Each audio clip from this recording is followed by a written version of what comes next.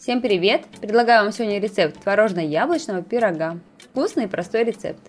Для основы берем 140 грамм муки, просеиваем, 20 грамм сахара и 80 грамм сливочного масла. Перетираем руками все в крошку. Затем добавляем холодную воду, 3 столовые ложки. Добавляем по одной ложке, каждый раз замешивая тесто. В итоге у нас должно получиться тесто однородное, которое не липнет к рукам. Готовое тесто убираем в холодильник на 30 минут. В это время готовим творожный слой. 300 грамм творога, 3 яйца, 100 грамм сахара, можно добавить ванилин по вкусу.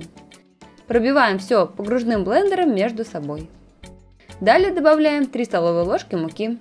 Еще раз все перебиваем блендером чтобы не было комочков. Нарезаем яблоки, 4-5 штук.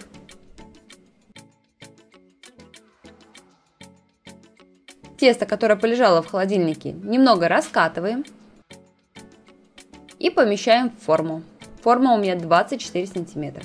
Формируем основу с бортиками, руками или с помощью ложки.